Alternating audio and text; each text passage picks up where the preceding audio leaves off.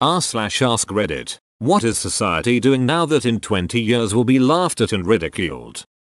Believing that video evidence is actual believable and trustworthy evidence. Edit. Okay, this blew up a bit. Thanks for the metal medals. Kind strangers. A shame OP deleted the thread oh. This one scares me but it's true. People need to believe, and nowadays, they'll believe anything. High consumption of added sugars. This was gonna be mine. I think well look at people who drink lots of sodas in 20 years like we look at cigarette smoker today. Sodas and energy drinks. Thank you. I personally couldn't believe how much sugar is in some things once I started looking at labels. It's insane. Some things don't even need an extra 30 grams of added sugar.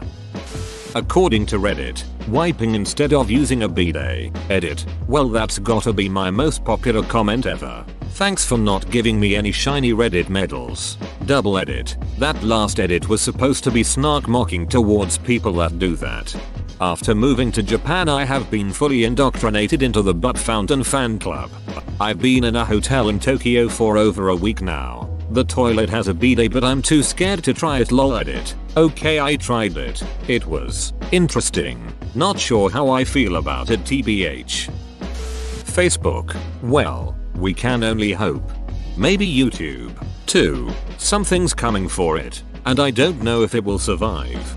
Hopefully, they didn't seem to realize that the reason people liked it was the freedom they used to give to their contributors. Greed killed it. For example, video game walkthroughs. I used to go to YouTube to find quick walkthroughs for things like finding collectibles or defeating a boss. Now everyone makes every video long as shit to give advertising their time. Just show me where the shit is on the in-game map. Dongs. 3 minutes tops. Social media influencers. I laugh about it now. Gee, so happy mom was an influencer when she was younger. These 25 000 photos of her taken from the back holding her hat are just so interesting. Edit. Thanks for the silver. I really really hope it's how little we understand about diseases. How to cure them. Edit. My uncle just died from cancer at 49. His best friend was his son. They lived together in a small house after his wife left. He died a few weeks before his graduation. They used to play games and drink beer together. His son's eulogy was the most gut-wrenchingly sad and upsetting thing I've ever seen or heard. Ambitious maybe but a little bit of optimism and hope shouldn't go amiss. We understand a lot about cancer, and in fact a lot of people that study cancer are surprised that more people don't die from it more often. It's really fascinating to read about. Sorry for your loss. The main problem that we still face with cancer is that there are so many different kinds that each respond a little differently to treatment. Some are dealt with fairly simply with chemo and or radiation but others we still haven't figured out how to destroy yet. Photoshopping themselves. I feel like this is actually going to get more common and simpler too. With AI being developed into the photo mod apps it's going to be almost natural. I mean not gonna lie Photoshop is fun as duck. If it's not being used to deceive people what's the problem with it? Although I'm assuming you just mean photoshopping yourself with the intent to deceive. I. E haha doing a vacation. When they just shittily PS'd themselves into the burning Notre Dame Cathedral. Plastic water bottles. Edit. All single-use plastics. You mean single-use? Yeah, but part of me thinks that if things go wrong we might have air bottles like the Lorax. Hopefully throwing cigarette butts on the ground. It should be looked at as if someone is throwing a bottle on the ground. It's always blew my mind that filters aren't biodegrade. Like, when everyone smoked without them whatever they threw away would eventually disappear. Now that shit stays around for ages forever. I feel like the manufacturers of cigarettes care as much about the environment as they do their consumers' health. Settling our disputes in legal cases and courthouses, instead of the Thunderdome edit. Well damn that kinda blew up. Thanks for the platinum kind stranger. Two men enter. One man leaves. Bus a deal. Face the wheel. Being anti-vaxxed. I mean we laugh at that already but you know. We'll be laughing because they'll be dead. The unfortunate kids will be dead. Pretty sure most anti-vaxxers were already vaxxed as kids so they'll still be healthy sort of. Can almost guarantee today's fashion will be. Hey that is cheating. You can say that about basically any era. It always comes back around. Fashion is very much cyclical. It might not be as extreme as it used to be, but let me tell you, I've seen numerous people in the city walking around in baby spice platform shoes. Minion memes. R slash wacky tic tacs. Paying for Wi-Fi. I don't know if 20 years is a good timeline for that. Both SpaceX and Blue Origin have plans for satellite constellations to provide basically worldwide Wi-Fi, but they are meant to be revenue generators to fund some of their more ambitious, less profitable missions. Maybe 50 years. That's not gonna happen. Do you laugh at someone for paying for electricity, water, etc? What you should say is how much we paid for it going hugely in debt for degrees because of the myth that you need a college education to be successful in life. Hopefully trades become accepted in the future. Electricians and plumbers will always be necessary. More people would go into the trades if more contractors treated their guys well. If the culture of casual racism, sexism and all-round apprentice abuse ended, more people would go into the trades. It is not that young people are not interested it is that they are not interested in being yelled at by some old alcoholic dund. People are expected to work like ducking dogs in the skilled trades by a-holes who will lay them off without a second notice just because. For shite pay, little to no benefits, and no pension. Obviously union is a little different. I'm an electrician. I work more engineering, automation, controls, PLCS etc. I ducking hate construction trades because of the people.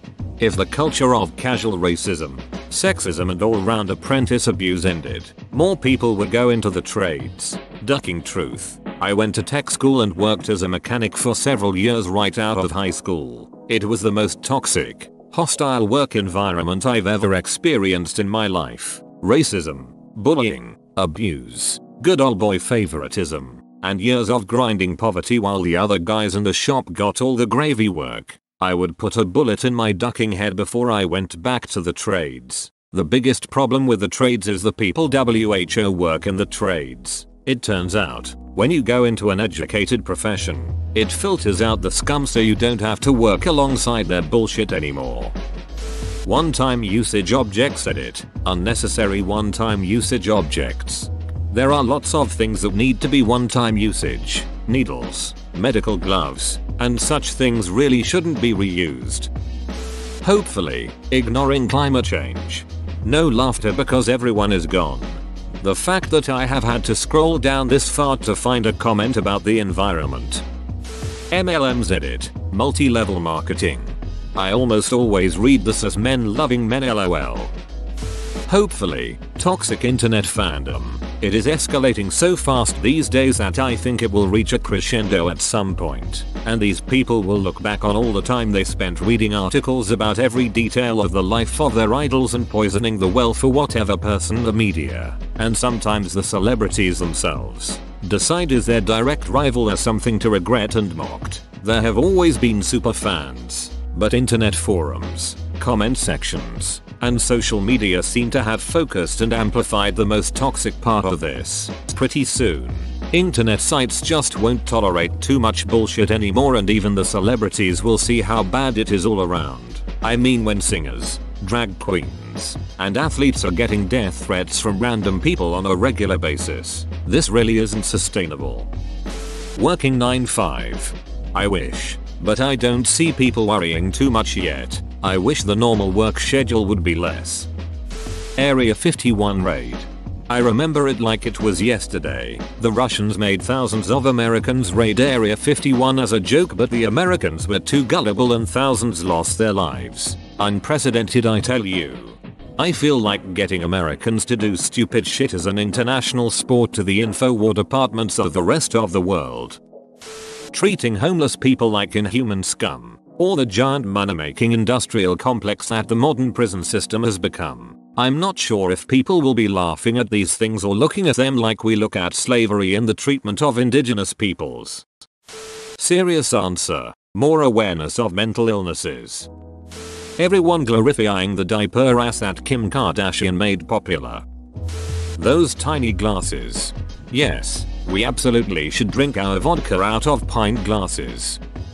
Making cats into six-figure celebrities, including inviting them to public appearances and talk shows, costing them in commercials and movies, flying them all over the country world for appearances, and then later watching them die fairly young from all of the stress of being flown around the country world, passed around to various strangers, and handled by thousands of people hoping to get a selfie with a celebrity cat. Oh and don't forget doping them up for every one of these appearances so they don't get anxious.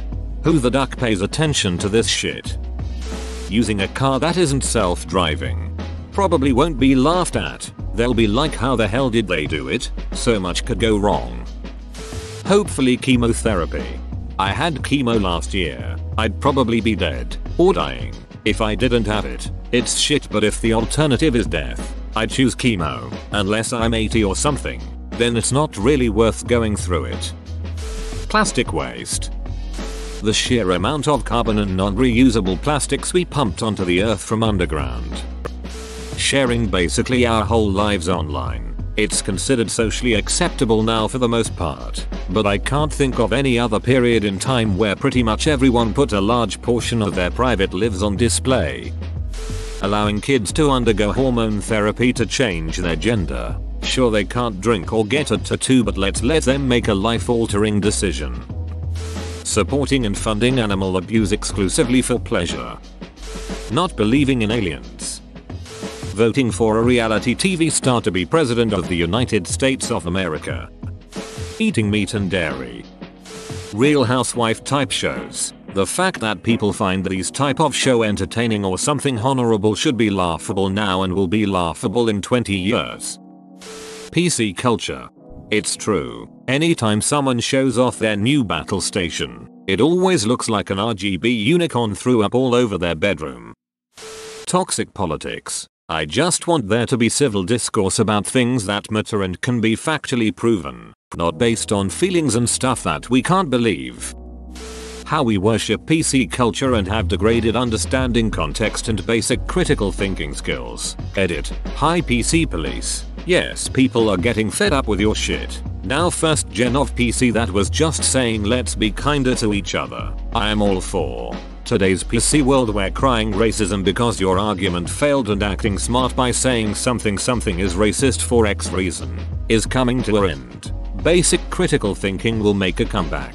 People will decide what is racist on merit, not because you cried and told them how to think. Whoa, you made it to the end? You're a ducking beast. I'll cut you a deal. Smash like and subscribe for more curated content bruh. It's free and that's a great price.